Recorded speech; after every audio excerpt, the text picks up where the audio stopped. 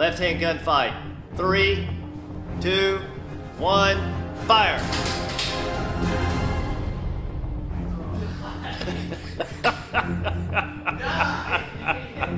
Ha